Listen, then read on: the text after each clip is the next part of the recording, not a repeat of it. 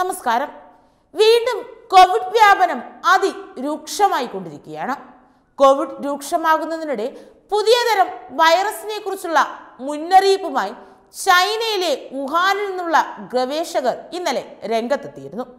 ദക്ഷിണാഫ്രിക്കയിൽ കണ്ടെത്തിയ നിയോക്കോവ് എന്ന പുതിയ തരം വൈറസ് അതിമാരകമാണെന്നാണ് ചൈനീസ് ഗവേഷകർ അഭിപ്രായപ്പെടുന്നത്.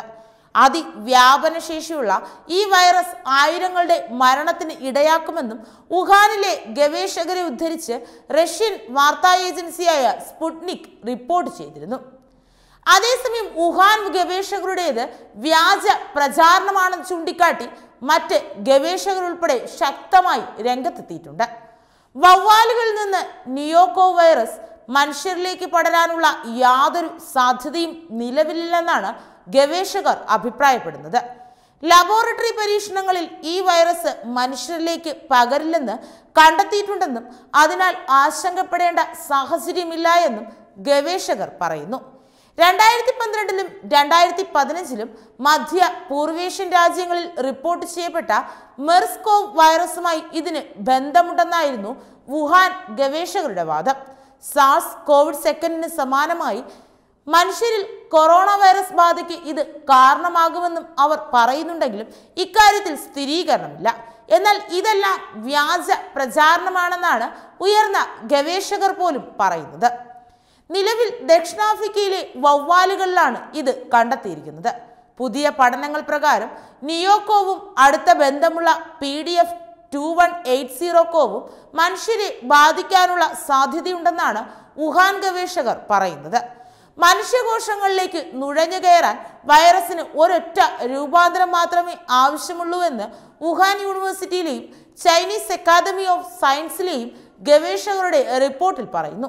ഈ വൈറസ് മനുഷ്യരെ എങ്ങനെയാണ് ബാധിക്കുന്നതെന്ന് സംബന്ധിച്ച് പഠനം ആവശ്യമാണെന്ന് Russian virology and biotechnology research centre ചൂണ്ടിക്കാട്ടിയിട്ടുമുണ്ട്. അതേസമയം ഇത് സംബന്ധിച്ച് കൂടുതൽ പഠനങ്ങൾ നടത്താൻ ഒരുങ്ങുകയാണ് ലോക ആരോഗ്യ സംഘടനയും ചൈന ഭീതി പരത്താൻ ശ്രമിക്കുകയാണെന്ന ആരോപണവും ശക്തമായി തന്നെ ഉയരുന്നുണ്ട്. ഈ ഒരു സാഹചര്യത്തിലാണ് ഇതിന് സ്ഥിരീകരണവുമായി മറ്റ് ഗവേഷകർ ഉൾപ്പെടെ രംഗത്തെത്തിയത്. ഇനി ഈ നിയോക്കോവ് വൈറസ് പുതിയ വകഭേദമാണോ? രോഗം ബാധിക്കുന്ന മൂന്നിലൊരാൾ മരിക്കുമോ?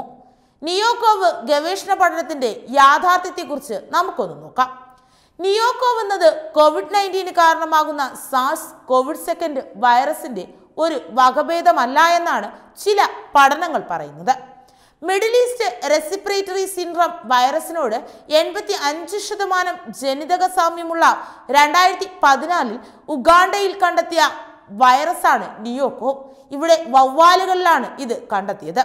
സ്പൈക്ക് പ്രോട്ടീനിൽ വലിയ ജനിതക വ്യത്യാസം ഉള്ളതിനാൽ കോശങ്ങളിൽ പ്രവേശിക്കാൻ മേഴ്സ് വൈറസ് ഉപയോഗിക്കുന്ന D P P four receptor system ഉപയോഗിക്കാൻ ഈ വൈറസിന് കഴിയില്ല എന്ന് കണ്ടെത്തിയിരുന്നു. ഇനി മൂന്നാമതായി ഇപ്പോൾ പുറത്തു വന്നിരിക്കുന്ന ഗവേഷണ പഠനം പറയുന്നത് നിയോക്കോ വൈറസിന് സാർസ് കോവിഡ് സെക്കൻഡ് വൈറസ് ഉപയോഗിക്കുന്ന എ സി സെക്കൻഡ് റിസപ്റ്ററുകളുമായി ബൈൻഡ് ചെയ്ത് കോശങ്ങളിൽ പ്രവേശിക്കാൻ കഴിയുമെന്ന് മാത്രമാണ്. നിലവിൽ മനുഷ്യകോശങ്ങളിലെ എ സി സെക്കൻഡ് റിസപ്റ്ററുകളുമായി ബൈൻഡ് ചെയ്യാനോ രോഗമുണ്ടാക്കാനോ ഈ ശേഷി നിയോക്കോ വൈറസിന് ഇല്ല. എന്നാൽ സ്പൈക്ക് പ്രോട്ടീനിലെ ഒരു അമിനോ ആസിഡ് മാറുന്ന വിധത്തിലുള്ള ഒരു ജനിതക വ്യതിയാനം സംഭവിക്കുകയാണെങ്കിൽ മനുഷ്യകോശങ്ങളിൽ പ്രവേശിക്കാനുള്ള ശേഷി നിയോക്കോ വൈറസിന് നേടാൻ കഴിയുമെന്നും പഠനങ്ങൾ പറയുന്നുണ്ട്. നേരിട്ടോ ജനിതക വ്യതിയാനങ്ങൾ സംഭവിച്ച ശേഷമോ മനുഷ്യരിൽ പ്രവേശിച്ച് രോഗമുണ്ടാക്കാൻ ശേഷിയുള്ള ആയിരക്കണക്കിന് വൈറസുകൾ വവ്വാലടക്കമുള്ള വന്യജീവികളിലുണ്ട്. അവയിൽ ഒന്ന് മാത്രമാണ് നിയോക്കോവ് എന്ന കൊറോണ വൈറസ്. ഇത്തരത്തിലുള്ള രോഗാണുക്കളെ നേരത്തെ കണ്ടെത്തുകയും ജനിതക സവിശേഷതകൾ പഠന വിധേയമാക്കുകയും ചെയ്യുന്നതിലൂടെ വൈറസ് സ്രോതസ്സുകളായ വന്യജീവികളുടെ ആവാസ വ്യവസ്ഥയും ആരോഗ്യവും സംരക്ഷിക്കുന്നതിലൂടെ ഭാവിയിലെ മഹാമാരികളെ തടയാൻ കഴിയും. ഈ ലക്ഷ്യത്തോടെ നടക്കുന്ന പഠനങ്ങളിൽ ഒന്ന് മാത്രമാണ് നിലവിൽ പുറത്തു വന്നിരിക്കുന്ന ന്യൂയോക്കോ ഗവേഷണ പഠനം. Web desk Tatwamayi news.